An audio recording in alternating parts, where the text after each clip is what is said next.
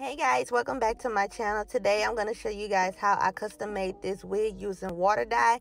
If you're not subscribed, be sure you subscribe, like, and comment. Thank you guys so much for getting me to 99 subscribers and let's hope that I can get to 100 next. So I'm going to be using this 24 inch hair from Mealid Hair. Thank you guys for sending this to me. It comes in this bag I also have a wig cap and some instructions on how to care for the hair and wash the hair to make sure it stays nice. So here's the hair. Just gonna pull all the bag and everything, all the extraness they have in there. And it is pre-plucked, but I also put some more plucking towards it because I like it to look natural. So I'm gonna do the half down, half up look therefore I don't get any dye on the hair at the top. I feel like it's been so long since I've done a voiceover, guys. I have loved talking to you guys more than doing voiceovers, but for this particular video, I just wanted to get away from the reaction videos for a minute and just, you know, do some hair videos.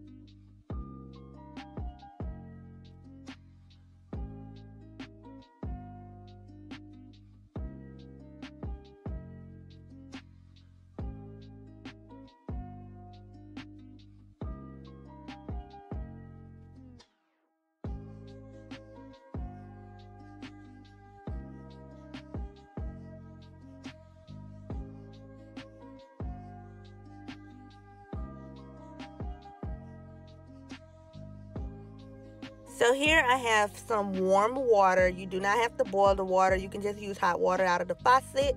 And I use the Adore hair dye in the color medium brown. This is like the best hair dye to do water dye with. By the way, the hair is brown, not black. It just looks black, but it's like a really dark brown. So I use two bottles only. I don't use any more, any less, just two bottles to do the job.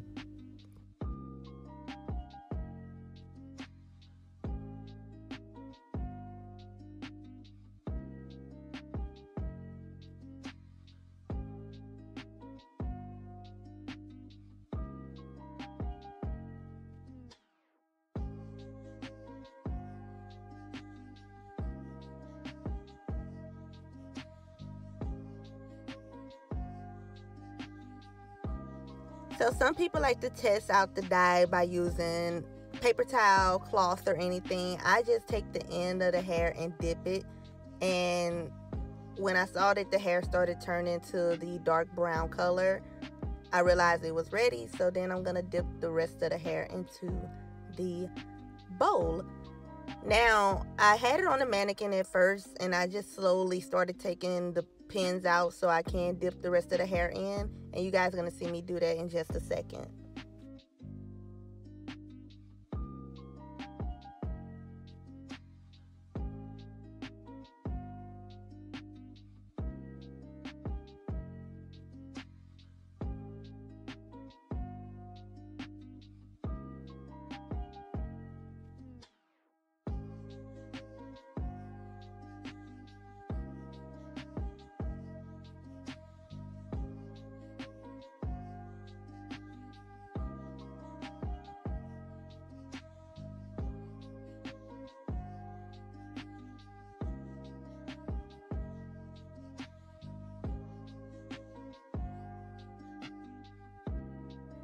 So for your best results, you want to let the hair sit for about 15 minutes.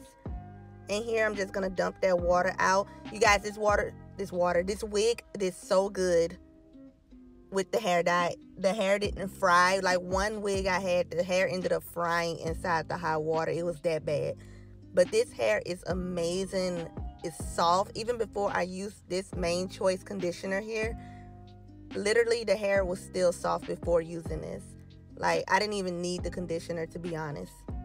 I highly recommend this hair. So I let the conditioner sit in for about 10 minutes and then I rinsed it out.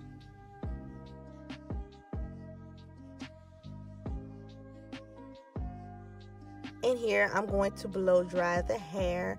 Now, I did not dye all the way to the top because I did not want to stain the wig. So, and majority of the time anyway, the blonde hair is going to be overshadowing that black hair. So it's okay to have that part not as dyed.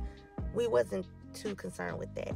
So I'm just to be brushing the hair out while I'm blow drying to make sure it get nice, soft, and straight. And then we're to get into styling. I'm just to put little curls. I wasn't going for like the big look. I might use some rollers later on and, you know, make the hair nice and big. But for now, we're just going to use a nice curling iron and put some little curls in there.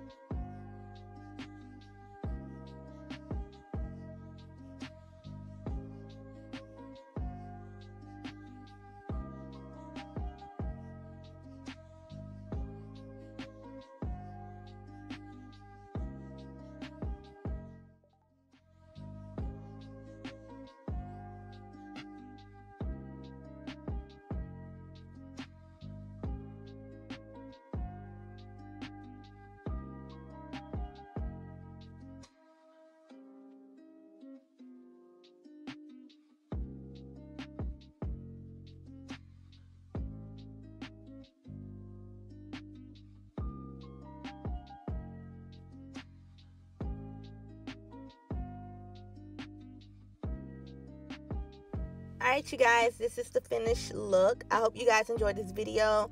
I know I took a break from the reaction videos, but let's try to get your girl up to a thousand subscribers. I got the watch time. And I will see you guys in my next video. My next video will be the Jania Michelle eyelash try on haul. So make sure you guys subscribe and like for that. And I'll see you guys in my next video.